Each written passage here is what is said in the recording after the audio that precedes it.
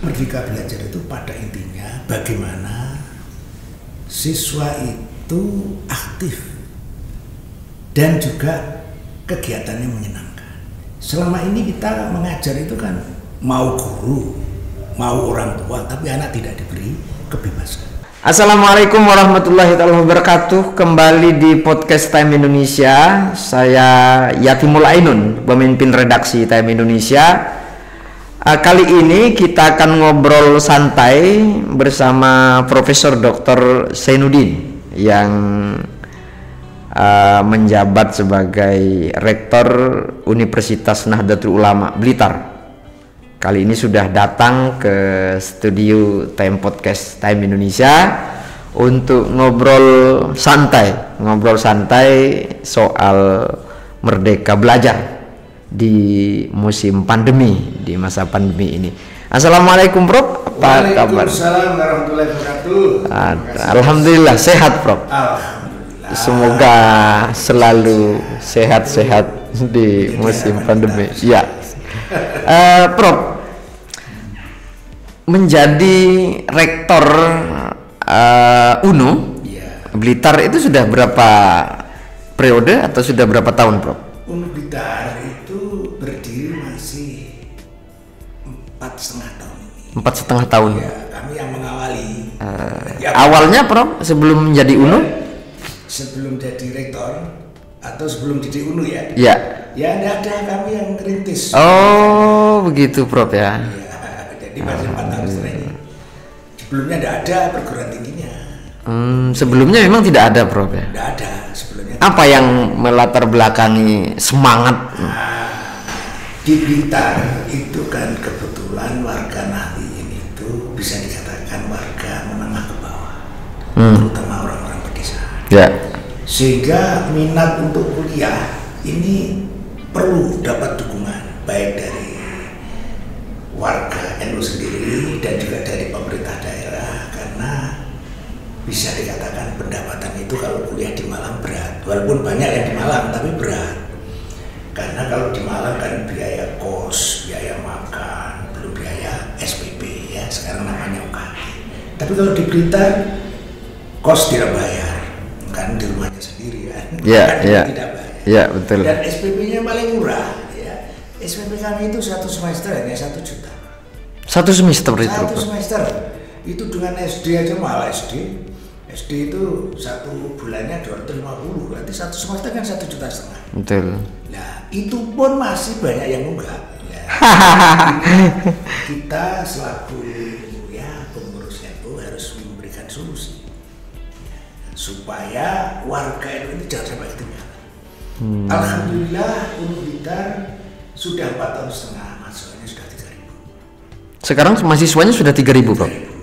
Hmm. Dan alhamdulillah karena kami melakukan lompatan-lompatan sebagai contoh saja bahwa perguruan tinggi sesuai anjuran pemerintah harus mendirikan namanya LSP. Ini Blitar. Alhamdulillah untuk Blitar walaupun berdiri empat tahun setengah nomor dua di kalangan perguruan tinggi NU yang dikelola oleh PBNU. Di di di di Indonesia. Di, di Indonesia. Ya, dari 39 umum. Hmm. Kalau perguruan tinggi PTNU yang ya dikelola PB ya tidak seperti Unisma itu kan tidak kelola ya, uh. Itu kami nomor 8. Unisma itu nomor 2. Kan ya hebat ya. Iya iya iya. Luar biasa. Apa tipsnya, Bro? Nah, tipnya kita memang memberikan kualitas terutama dalam pembelajaran dan juga mahasiswa itu harus lulus LSP itu hmm. yang punya LSP itu bisa dihitung loh ya ditaruh sampai ke Pacitan itu enggak ada ya ya enggak hmm. punya hmm, hmm. ini sebenarnya yang menarik khususnya adalah lulusan UNU katakan jurusan peternakan tidak hanya sarjana peternakan, tapi aplikatifnya hmm. gimana cara menyakur pakan, bagaimana obat, dan itu dapat sertifikat profesi yang dilakukan oleh BNSP. Hmm, hmm. Resmi dan ada gambar Garudanya. Iya, iya, iya. Sehingga lulus ya kerja, tidak perlu gantungan pemerintah, dia bisa mandiri. Itu keistimewaan hmm. yang tidak bingung akan kerja di mana gitu ya, Prof ya. Dua pendamping ijazah itu. Hmm, hmm, hmm Negeri pun kadang-kadang nggak punya itu ya. iya iya iya. Ada berapa jurusan, Prof? Ada berapa fakultas, Prof? Ada 17 prodi. Tapi Prodi. fakultasnya tiga. Fakultasnya Karena tiga. kami memang mem- memberikan satu eh, apa ini efisiensi. Kalau fakultasnya banyak, biayanya kan mahal. Hmm. Ada dekan, wakil dekan. Nah, ini karena fakultasnya tiga, Fakultas Ilmu Eksakta, Fakultas Ilmu Pengetahuan dan Sosial, Fakultas Ilmu Agamanya tiga. Fakultas Ilmu Eksakta itu ya ada peternakan, teknik mesin, teknik sipil, ilmu komputer. Lah itu kalau dipecah kan bisa jadi empat fakultas. itu. Nah, Kenapa sih fakultas banyak wong yang dilihat itu prodinya? Iya iya. itu strategi kami supaya efisien. Dekan itu jangan siji ae. Jadi sampai papat kan paling empat belum wakilnya. Itu Iya, dalam iya. rangka efisiensi. Efisiensi. Itu itu ta- tata cara kami untuk memberikan satu lompatan, baik lompatan efisien dana, juga lompatan-lompatan dalam pelayanan, khususnya di dalam pembelajaran, penelitian dan juga pengabdian. Itu yang menjadikan depan. Mahasiswa baru yang sekarang berapa, Prof? Yang sekarang ini ada 700. Ada 700 ya. Ini sudah dibuka gelombang satu. Insya Allah satu tes. Yang Hmm. daftar sudah 330. Ada berapa gelombang Ti- tiga? Ada ada gelombang tiga ini masih gelombang satu. Gelombang satu. Negeri aja kan belum dibuka ya. Ya, betul. Kami sudah punya mahasiswa ini 315. Mayoritas eh, mahasiswanya dari Blitar sendiri atau banyak kan dari berbagai Dari macam. Batam, ada dari Probolinggo. Hmm, iya iya. Karena kami hampir semua masukan itu adalah beasiswa. Sekarang namanya beasiswa KIP. Karena kami punya dorongan dari LPTNU, WB, kita diberi biasanya kuota.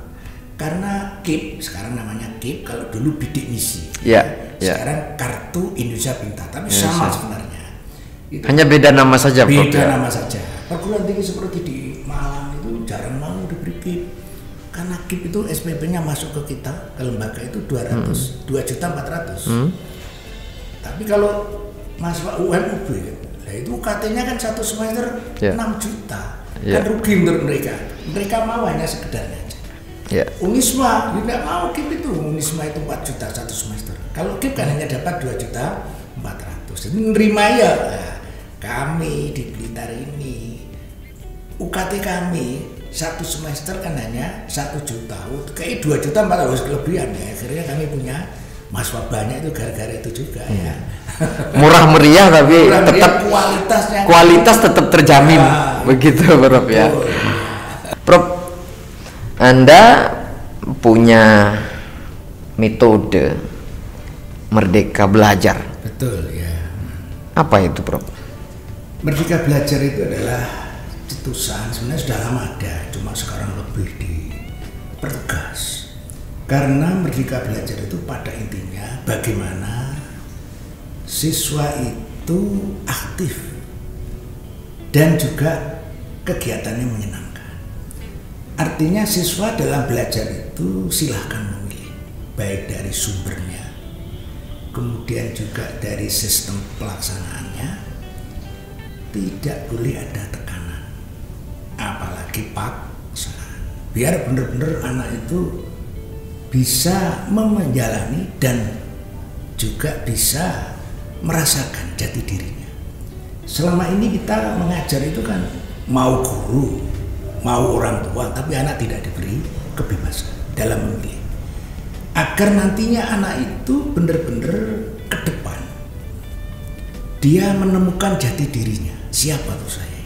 Inilah merdeka belajar ini akan sesuai dengan era pandemi ini. Kenapa? Guru kan tidak bertatap langsung. Berarti anak silahkan belajar sesuai dengan lingkungan keluarga sesuai dengan kemampuan keluarga dan sesuai dengan keinginan anak-anak. Itulah namanya merdeka belajar. Jadi siswanya itu aktif kata kuncinya menyenangkan. Ini yang dimaksud merdeka belajar jadi tidak boleh ada paksaan apalagi ada tekanan-tekanan harus gini ya itu. Kalau misalkan kan ada kurikulum, Prof. Gimana untuk me- menerapkan Kurikulum itu semas? sebenarnya kan bukan untuk menjadikan pat- patokan utama itu bukan ya Prof ya. Kurikulum itu hanya rambu-rambu saja. Rambu saja. Sehingga pengembangan inti itu ya kemauan anak. Kita tidak bisa makan anak. Seperti kalau kita mau makan, kamu harus makan ini nak. Nah ini kan sudah tidak merdeka lagi. Anak-anak ini tempatnya adalah di misalnya aja tempat-tempat eh, seperti kalau di Blitar itu kampung doklat. Di sana kan berbagai macam makanan. Kamu ingin makan apa nak? Udah puluh orang tua harus makan ini sama dengan saya. Itu namanya tidak merdeka lagi. Itulah harapannya seperti itu. Tapi hanya memberikan eh, bahwa memberikan petunjuk-petunjuk lah ya Prof ya. memberikan petunjuk-petunjuk saja. Bahwa ini Keputusan minuman anak, keputusan anak. Karena kita tidak bisa mendikte anak. Seperti kalau anak mau bermain, kita kan tidak bisa. Kamu harus main ini.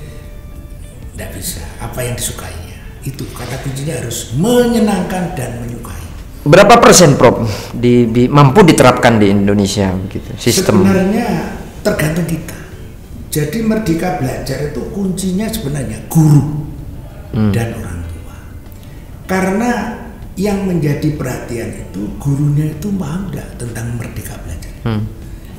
Umumnya guru-guru kita dulu kan kita dipaksa ya. Kamu Ya harus betul, menghafal. betul. Kamu harus bijimu baik loh. Sekarang ini dihapuslah namanya ujian nasional. Tidak ada sekarang dan tidak boleh anak tidak naik kelas. Tapi mayoritas kalau tidak dipaksa Prof nggak nggak hafal-hafal Prof. Itulah metodenya harus dirubah. hmm. Caranya gimana merubah? Situasinya harus dibuat. Bagaimana anak menyukai, menyenangi apa yang akan dipelajari itu. Otomatis gurulah menyiapkan bahan-bahan, kelengkapan-kelengkapan sehingga menjadikan belajar itu menyenangkan. Itu Hmm. Kurikulum hanya sekedar Nah metode untuk menyenangkan itu kayaknya yang memang tidak mudah Oh, Prof iya, ya.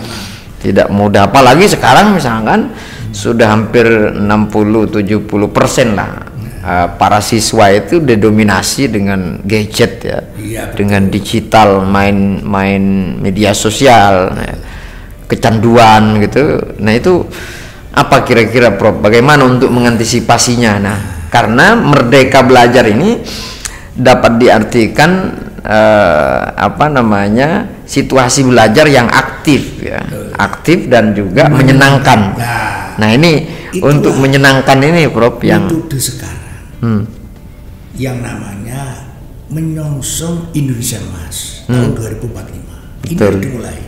Kalau itu penerapannya betul, Indonesia nanti akan menjadi juara tiga SDM-nya tingkat internasional.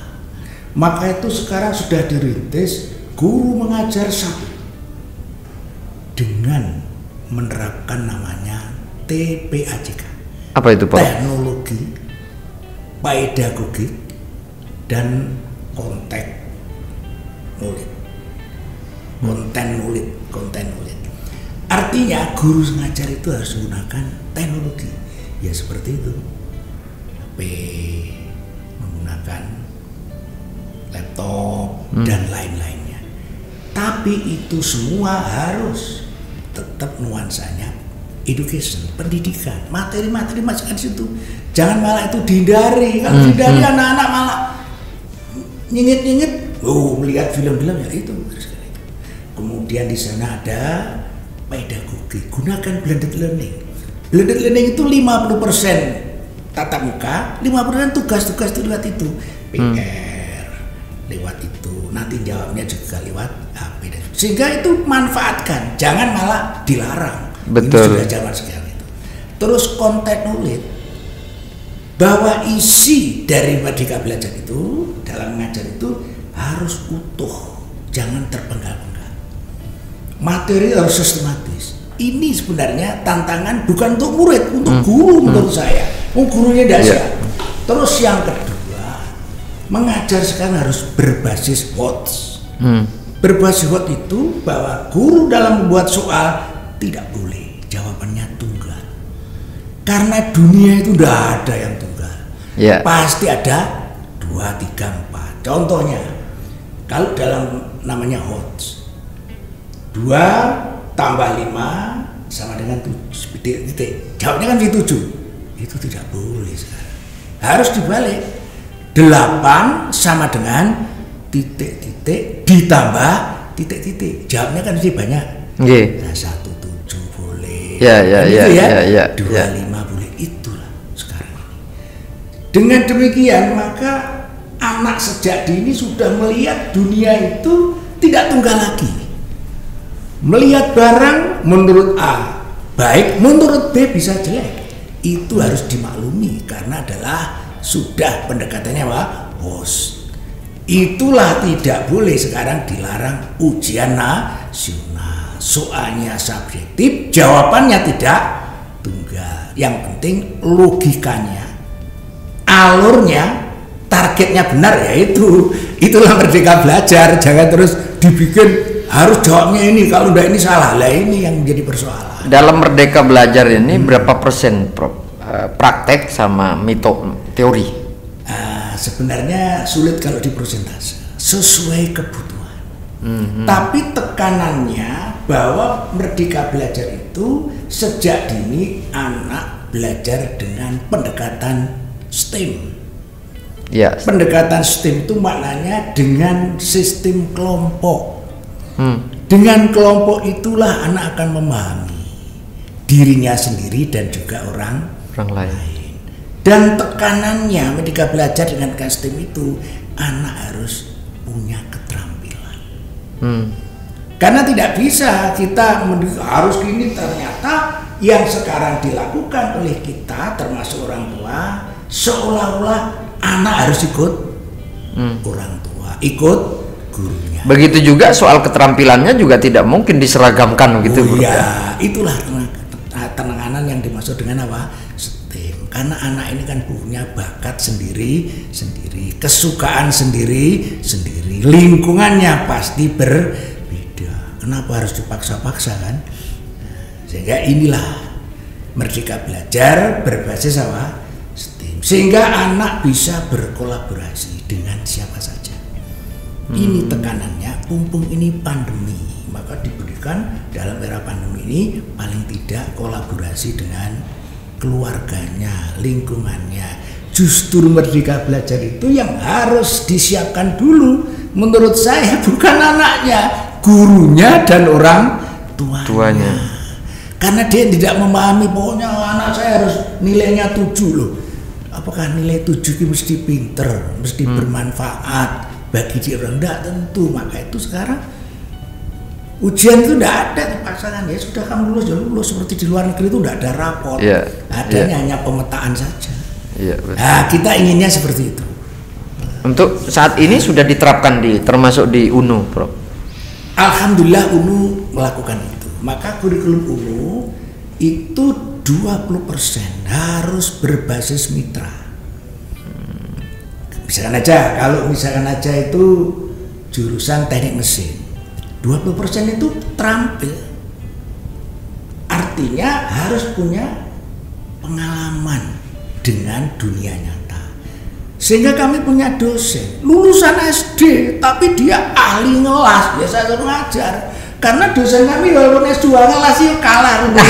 Iya iya iya iya iya. Nah, itu itu, Iya, itu iya, itu harus menyisakan yang namanya Eh, IQ. Iya, iya. Indikator kinerja utama menyisihkan 20% itu harus bermitra kepada masyarakat. Apa artinya IP-nya tinggi? Tapi begitu lulus suruh kerja tidak bisa. Nah, ini kan tidak bisa. Itulah munculnya LSP. LSP itu tenaga pengerjaannya adalah tidak harus sarjana. Yang penting ahli dan punya keterampilan. Itu sekarang merdeka belajar seperti itu. Eh, pendekatan STEAM ini yang bertujuan untuk eh, merdeka belajar dengan kekuatan penuh membentuk atau berkolaborasi dengan dengan tim. Iya. Ya. Nah, eh, orientasi ke depannya apa, Prof? Pemerintah atau sistem pendidikan bisa menerapkan ini? Pertama langkah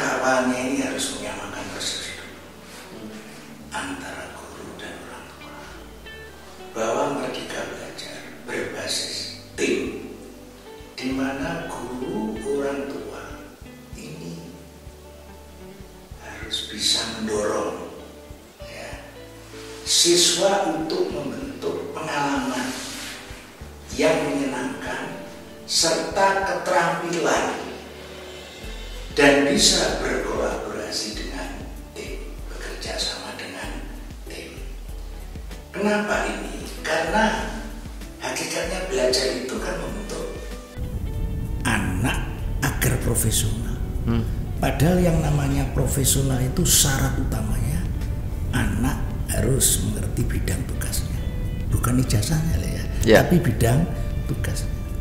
Yang kedua, anak harus bisa berkomunikasi dan berkolaborasi dengan siapa saja, bukan hanya tim, siapa saja. Ini kalau ingin profesional. Lah kalau anak kecil kan ya harus dari tim. Kan tadi itu. Kemudian yang ketiga, anak ini namanya profesional harus tanggung jawab, dilatih dengan tim tadi anak supaya tanggung jawab dengan bidang tugasnya. Kalau ini sudah terbentuk sejak kecil, maka dia nanti kalau belajar, kalau bermasyarakat sudah tidak lagi canggung. Hmm. Banyak loh ya.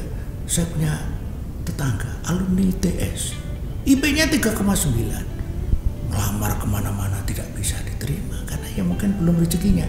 Akhirnya dia mengurung diri sampai tiga bulan. Ayah ibunya bingung, gimana ini caranya? Jangan-jangan stres ini nanti gitu. Ini menunjukkan bahwa pembelajaran itu tidak bisa hanya mengandalkan keilmuan. Keilmuan. Maka itu merdeka belajar dengan pendekatan STEM.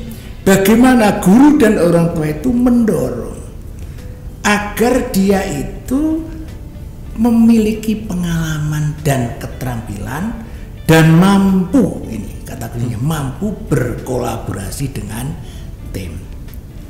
Dengan demikian maka mereka nanti segala persoalan akan dipecahkan dengan tim yang akhirnya anak itu dapat bekerja dengan kreatif. Itu dengan tim. Iya iya iya iya. Ini banyak contoh-contoh seperti itu. Nilainya 4 IP-nya belum tentu menjamin dia orang sukses. Padahal di sana itu oleh Allah sudah jelaskan ada memang namanya anak pandai. Anak pandai itu adalah anak memang diterangi sedikit. Wah, Usman, Sudah. Itu anak pandai. Apakah anak pandai jaminan di masyarakat sukses? Belum. Maka di situlah kita dengan pendekatan lain ada anak namanya anak cerdas. Kalau orang cerdas itu mereka ini biasa, tapi mereka bisa menggabungkan, bisa memberikan satu penguatan orang-orang yang pandai dijadikan satu, memenit, memenit orang pandai itu namanya orang cerdas. Sebagai contoh saja presiden kita ini yang contoh kontrol ya, kan ijazah cukup S1 ya. Ya ya ya. Lu putrinya semua ada. Profesor. Pinter ndi kira profesor karo Pak Jokowi secara akademik lah ya. Ya. Tapi Pak Jokowi itu punya keahlian memanage orang-orang yang apa? Pandai. Banyak itu perusahaan saya punya teman itu lulusan SMP, kerjanya di Kalimantan, namanya Lutfi. Lu Lut, kamu di mana? Kalimantan. Kamu kok kaya sekali ini temanmu SMP semua kamu borongkan. Hanya lulusan SMP. Tapi perusahaannya enam. Direkturmu apa? Direktur saya itu lulu, dokter pak, lulusan mana? ITB. Kenapa? Lah ini yang diurusi tambang pak. Lah, sing duwe adalah lulusan apa? SMP. Pinter di SMP kan? Itu namanya orang cer Cerdas. Nah, ini kan sudah ini yang dibentuk dalam Merdeka Belajar berbasis STEM. Bagaimana guru orang tua mendorong membentuk agar siswa kita ini siswa kreatif di samping kreatif mereka juga cerdas. Kalau pandai memang dari apa? Atas itu. Lah harapannya minimal kreatif. Anak kreatif itu di mana dia berada dia pulang tuh mesti cerita banyak. Itu cirinya Pak di sana ada ini, ada ini. Gimana bisa dilakukan sih? Oh ini Pak. Nah, itu namanya kreatif. Sehingga kalau dia itu pergi ke mana saja, pulangnya mesti dapat oleh-oleh dan oleh-oleh itu akan diterapkan. Terapkan di Nah, dia akan menirukan. Itu namanya kreatif. Nah, kalau sudah itu namanya mergical brain system itu menjadi inovatif. Kalau inovatif itu sudah akan tinggi. Bagaimana yang diciptakan tadi menjadi nilai jual yang produktif. Seperti kalau kita menjual barang misalnya saja satu klusu apa itu namanya duren itu kalau di daerah saya sak klusu rene arti sak gede regane gur 30.000 lah tapi kalau sudah di mat di sini Iya, iya. oh itu satu satu klusu bisa 50.000 ribu lah itu namanya sudah inovasi, Inovasi. dijual tempat berbeda terus Harga cara penyajian berbeda itu ada namanya inovatif Harganya juga So, berbeda. harganya berbeda. Itulah sebenarnya tempunya Iya, iya. ketram. Iya. Nah ini sejak dini harus dilatih. Oke. Nah gitu lah. Ya. Prof, terakhir Nah, eh, apa harapan dari Merdeka Belajar ini supaya ini real dan membumi juga bisa diterapkan di lembaga pendidikan di apa namanya aura pendidikan lah Iya. di Indonesia. Terutama apalagi sekarang Pak Menterinya juga eh, orang kreatif dan inovatif bro masih muda gitu. Apa harapan supaya Merdeka Belajar ini mampu diterapkan dan berjalan maksimal tidak tidak hanya sekedar formalistik Eh, generasi bangsa ini lulus S1 S2 sementara nanti setelah pulang ke dunia yang sebenarnya Bingung. ini nggak bingung nggak tahu apa yang harus dilakukan nah, langkah awal memang guru orang tua itu harus menyamakan persepsi sehingga pada awal masuk itu harus sudah disamakan persepsinya. Ini loh merdeka belajar. Karena menteri kita ini kan bukan di bidang pendidikan ya sebenarnya. Ya, betul. ini lebih bidang apa namanya bi- bukan birokrasi tapi lebih pada bidang bisnis lah kayaknya gitu. Ekonomi dia itu. Di belakang beliau ini semua ekonomi seperti Sampurna atau Kotor sehingga dia lebih tekanannya itu pada bidang usaha. Kan dia bos grab ya. Tidak perlu pendidikan tinggi tinggi untuk apa itu.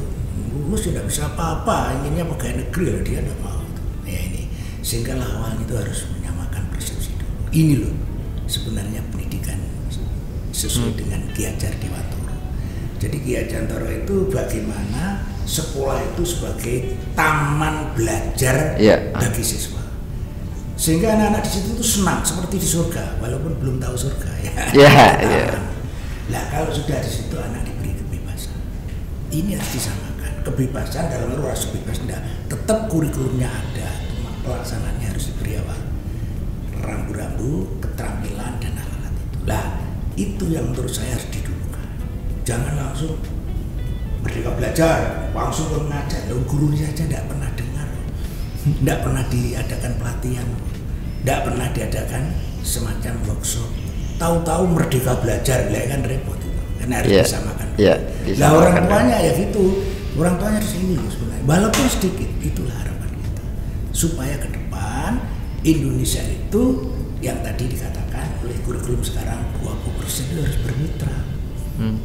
yang 80% sesuai dengan kurikulum yang kita inginkan supaya dia itu tahu kondisi real di masyarakat. Ini yang sebenarnya kesamarannya. Tapi kami yakin orang Indonesia itu biasanya kalau terpaksa malah belajar gitu. Orang tua kan kalau aku malah gini, biar kon marahi sekarang malah suruh bebas lah akhirnya nanti dia akan mau belajar. Termasuk gurunya. Sehingga sekarang kan tidak ada UNAS, ujian nasional tidak ada. Anak tidak boleh tidak naik, ya harus naik. harus naik Ya harus, kalau tidak naik ya salah gitu. Nah, guru itu tidak bisa ngajar gitu Iya, ya. iya, iya, Barangkali iya. itu langkah-langkah. Eh, ada salam ke Pak Menteri Prof Gimana? ada salam ke Pak Menteri Ya Pak Menteri ini luar biasa karena dia menggabungkan pemikiran akademisi murni dengan pemikiran kaum masyarakat nyata utamanya adalah yang sekarang namanya Dudi dunia Indosidu itu dunia usaha di dunia industri ini yang digabungkan Pak Menteri. Jadi beliau itu menggabungkan bahasanya Pak Masud ilmu langit Ya. dengan dunia industri dan dunia usaha. Karena nanti sekolah setinggi apa pun kan akan Berkaitan dengan masyarakat, dunia usaha dan dunia apa? industri yang singkatannya DUDI. Selamat Pak Menteri. Iya, iya, iya. Oke. Eh, begitu. Terima kasih Pak Rektor. Eh, Prof. Zainuddin, Rektor Universitas Nahdlatul Ulama Blitar sudah berbincang-bincang santai. Semoga Merdeka Belajar ini mampu diterapkan dan eh, apa melekat pada masing-masing termasuk guru, siswa dan juga orang tua. Sistem ini kerja tim itulah yang diharapkan sebenarnya sudah lengkap Prof di Taklimul Muta'alim itu antara guru, orang tua dan murid. Nah, itu yang semoga eh, para time lover semuanya yang menyaksikan podcast Time Indonesia dan kita akan kembali di tema yang berbeda. Terima kasih. Wassalamualaikum warahmatullahi wabarakatuh. Waalaikumsalam warahmatullahi.